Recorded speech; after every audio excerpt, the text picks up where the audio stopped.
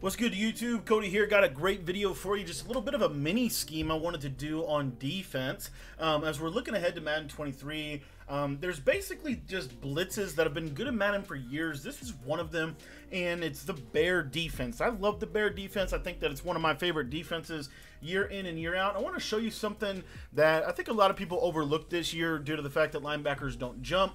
But if you're going to be blitzing a lot, and Mills kind of taught us this with his 4-3 even 6-1 defense, if you're going to be using a lot of pressure, you don't necessarily have to have safeties on the field. Um, and so I wanted to give you a video today that is one of the best blitzes in the game that really nobody's talked about this year. And that's the 46 bear under. It's a universal pressure. You can run this out of cover two, cover three, cover one, doesn't really matter. And I'm going to show it to you against the best offense in the game, which is the gun bunch. Now, if you're new to the channel, make sure you join our Patreon if you want to learn all my offensive and defensive ebooks. The link is down in the description for just 10 bucks a month. You get access to everything over there. Got a lot of great content planned for Madden 23, and also you'll be able to get all of the content we put out for Madden 22. That way you can kind of get yourself um, kind of prepared for Madden 23. Okay, guys, so real simple defense here and I like to run this out of either the cover three or the cover two. Um, we're going to show it to you out of the out of the cover three today, but again, you can kind of adjust your coverage as as you need to. Uh, one thing I did want to quickly say is you do want to run this defense on baseline real quick, just because we're going to do a little bit of a mini scheme here with this. I personally like to recommend that not only going to run it on baseline, we're also going to put our hooks on five and you can put your curl flats on five or zero depending on if you know what you want to do there.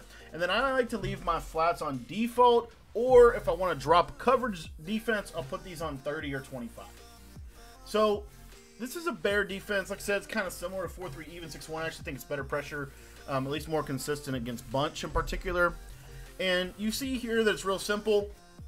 Literally you're just going to blitz both of your linebackers. You're going to grab this user defender right here Lavonte David and then what I like to do is you can contain um, if you want to. That's pretty much it. And the blitz is going to be set up. You're just going to stand right there. And as you can see, you're going to absolutely scream off of the left edge. Now, you'll notice with this blitz that you, when you contain, the blitz is much better. The left side blitz is much better with a contain, but the right side is not so much as good. So you can manually re-blitz him uh, just straight down. It's kind of helpful, especially against bunch. Now you see you get a nice clean double edge pass rush. Now this is also really good because there's one additional adjustment that we can do that is going to create a really interesting pressure, and that is to pinch our defensive line. So just by pinching our defensive line, you'll notice here that we're still getting our double edge pressure, but I want to show you what's going to happen whenever your opponent does the most popular blocking scheme in all of Madden, and that is they block their tight end. So let's say that they block their tight end, and what you're going to notice with this defense here, um, I'm just going to block my tight end. And what you'll see is a lot of times you're going to get this clean A-gap pressure right down the middle, just like that at the quarterback. Really good little pressure, um, especially against the tight end pass protection. Now, another thing that makes this really, really good, at least in my opinion, against Gun Bunch, is let's say that they block their running back. If they block their running back, not only is your pressure on the right side going to come in, but your looping pressure is going to come um, off of this left edge. There, I messed up with my user. Let me show you that one more time. Uh, again, if you pinch your line, just that simple adjustment, it can make this defense really interesting, specifically against um, specifically against um, Gun Bunch. So anyways, what you see here, there's our pressure and we're just going to do that and as you can see here the contain is going to come off the edge. Now if you ever have issues with the running back pass protection it's going to be because we pinched the line. Um, so just real quick uh, just so you know if your linebacker ever comes out of that gap too by the way just keep pressing your coverage. That's all you need to do with that. Uh, but anyways here let me just show you this pressure off the left side. I don't know why it's not coming in. I think I'm standing on the wrong side with my user. But basically this pressure off of the right side, or off of the left side, I apologize, is really good if they're blocking the running back consistently. So let's say that they're blocking the running back consistently. We can actually turn this into like nickel 335 wide. So once we hit them with this A gap a couple times, we can stand on this side of the center. And what this will do is if they block the running back, you'll see now we're going to be able to get that pressure off the left edge. And you, as you can see there, we're also getting gap pressure off of the right side of the defense. So this is one of my favorite blitzes because it's really, really simple to set up. Literally, it's really easy. And then you see how incredible the pressure is. We're getting gap pressure, disengages. This is one of those blitzes that's just going to come in uh, consistently. Now, the, the beauty of this is it's not just a max pressure blitz. And if we wanted to run the cover two, the reason that I like this cover two defense, especially against gun bunch, is you can, with this defense, vert hook this right side guy, um, this right side backer, and then you can have a really nice little five man pressure that is really, really good, specifically if they are blocking their running back and putting their tight end on a route. You'll see that vertical hook will do a really good job of kind of lurking underneath and trying to defend the tight end wheel route. Another really interesting thing about this defense is the fact that you can really use these safeties um, in the box. So one of my favorite adjustments is to take this safety uh, right here and put him in man-to-man -man coverage. Um, I can basically cross-man him. Um, I need to do this before I press, so let me get him out of a press. There we go and what you'll see here. But you can put these safeties in man-to-man -man coverage. So one of my favorite things, we can roll this coverage like so, and then man this guy up on, you know, on this on this tight end. But you can do this real simple deal. And if you wanted to create cover two, it's really easy to do that. And we can have double hard flats and really good pressure. As you can see, it's really hard to, you know, hit something there because I can lurk underneath the defense.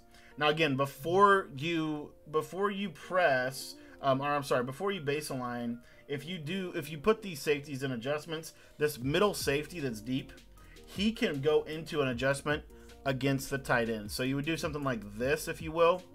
And then what I would probably recommend is rolling this guy into the outside third. So now you see here we have the tight end man to man. One of my other really favorite adjustments um, with this defense is to take this outside third guy and put him in outside quarter. That'll just help defend, you know, some of those routes like that and I love the outside quarter, the bunch side guy. I know this pressure is going to come super fast.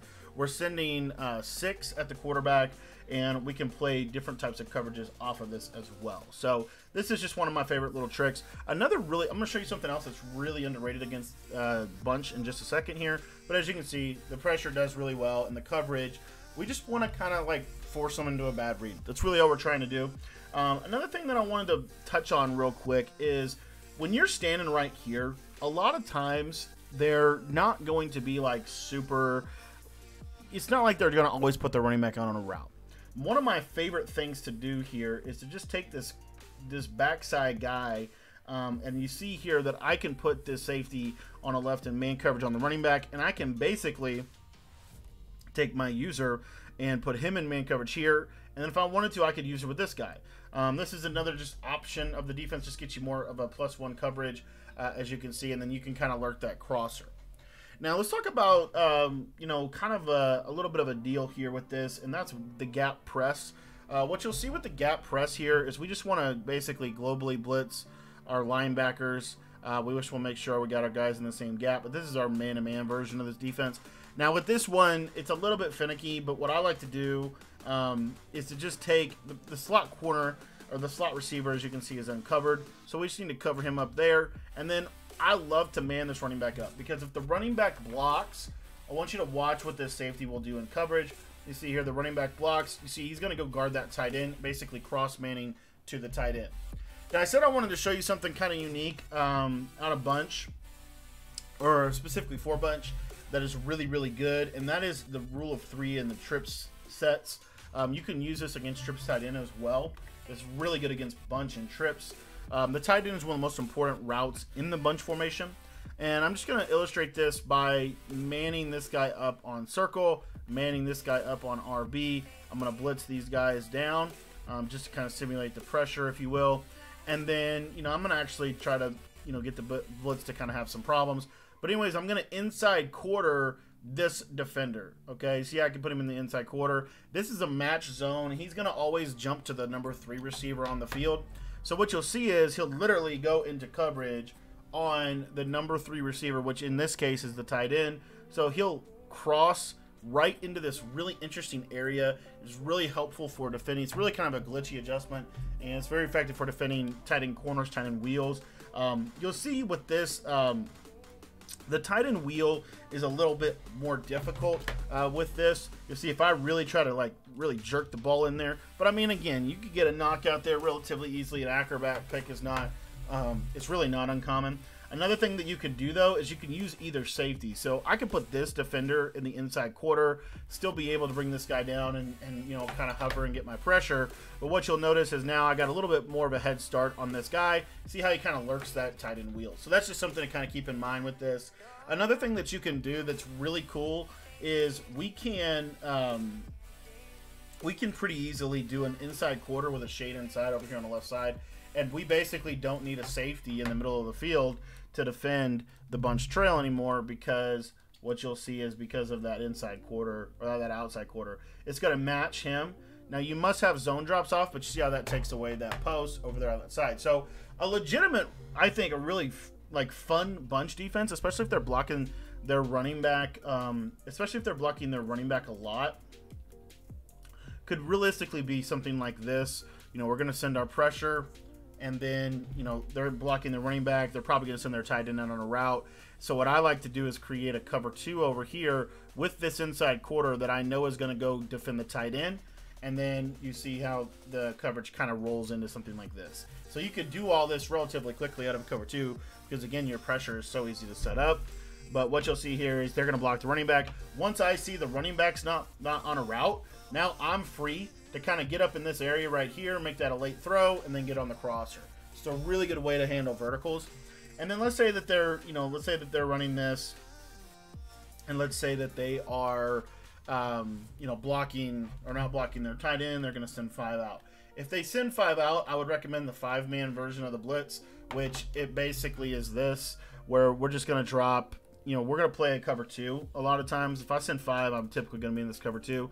I can't tell you how much I really do like this outside quarter, just a solo matchup on that guy right there.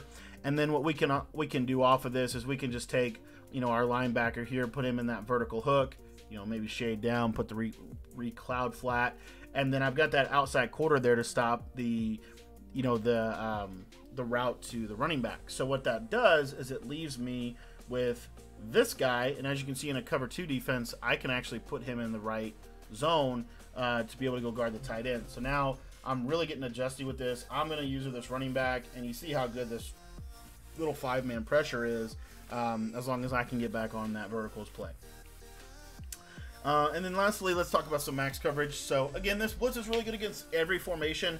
Like I said, you want to run it on base line. We'll go over trips. Um, let's go over trips first, and then we'll talk about we'll talk about um, we'll talk about um, lose my train of thought.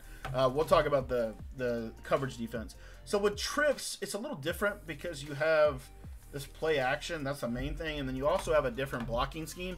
The tight end and the running back are on the same side of the defense. But when I press, you're going to see that it kind of comes into focus. Now, with trips, I like to show blitz. The reason I like to show blitz is going to bring this guy in here. It's going to bring this guy down in the middle of the field and then this guy is now out here to be able to kind of help him get out there on a deep half zone. Um, and then, of course, we have the cloud that's going to reroute that over there. Now, with trips, you don't really have to worry, honestly, about flat routes um, because the blitz is going to come in so fast. But first and foremost, we'll just show the blitz. So I'm just going to globally blitz my linebackers. Typically, I'll stand in this gap right here. Now, against trips, I don't always um, hit the contain rush because there's not necessarily a point to, at least against trips. So what you'll see here is the pressure will come off both edges, and you see how fast it comes in. So it's very similar, um, very, very similar to 4-3 even. Um, whoops, messed up my, my deal. Uh, but it's very similar to 4-3 even 6-1. Now, another thing that's, if I, let me just show you real quick, if I did contain, um, again, you want to be opposite of the running back if you're going to contain. Uh, and what you'll see here is the blitz is just not as good by any means, in my opinion. So really against bunch, it's better to contain, and against trips, it's better not to contain just with the way that the play, um, you know, just with the way the play works. So we're kind of sitting right here, and you might be thinking, okay, so like, what's your coverage plan? Well, I know that they have to block one of their running back or their tight end um, to be able to, like, I know they have to block one of those those two people. Okay, so what I like to do is man to man up that corner on the tight end, and then from there, it's actually a fairly straightforward coverage. We're just going to inside quarter this guy. And what he's going to do is he's going to match that crosser, that number three receiver in the trips formation. And then if the running back and the tight end both go on a route, I'll go to him. But if you see the running back staying to block or the tight end staying to block, then I know I got to get over and kind of help looking for any quick slants or quick hitches. So you'll see here, this is pretty much the defense. Um, it's absolutely is really, really good in my opinion against this setup. The only player I need to get is I just need to go over and, you know, kind of, because again, I'm going to see if one of them blocks, I'm going to the trip side. So one of them blocks, I go to the trip side. And as you can see, this is really good coverage defense. Very difficult to uh, beat this, or really good uh, pressure pressure defense. Um, so that's pretty much my trips blitz. Um, the, the for trips tight end, I recommend. I don't recommend sending five against trips tight end, and the reason why is because uh, I think trips tight end actually has better blocking than bunch.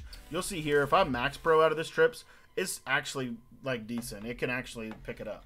What you can do real quick is if they do max protect against your against you in trips, one of the things that I like to do, um, and again, this is a little bit of a situational adjustment, but if they're doing it a lot, I'll blitz that corner off the right side just to kind of make sure they are aware that they can't max protect and just expect to have all day. So that's one of my other favorite adjustments if they're doing it consistently. I don't do it a lot, but in this situation, let's say that I'm going to blitz everybody.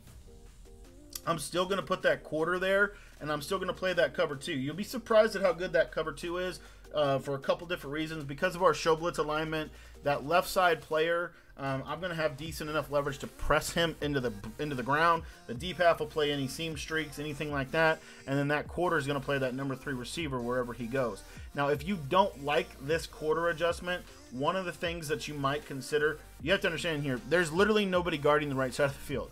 So at the snap of the ball, if I see, like, let's say I see the tight end run a streak, I'm immediately going back, and I know I got the pressure in, you see there, but I've got to make sure that if they're going to send five out and I'm going to send seven, this will get a little dicey because, you know, one bad, one mess up with your user, and, you know, it's six points. So a safer version of this, if you wanted, is to leave this guy in the deep path. It's actually a really good zone coming from the middle of the field because of the fact that it's going to just kind of protect you against the deep. So let's say that you're sending seven, um, you know, so you only have three in coverage.